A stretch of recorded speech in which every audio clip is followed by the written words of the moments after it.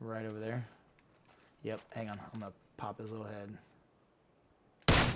Oh, he stands up and I shoot him in the dick.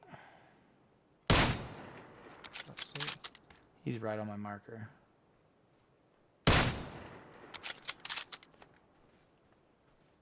Between the trees. Headshot.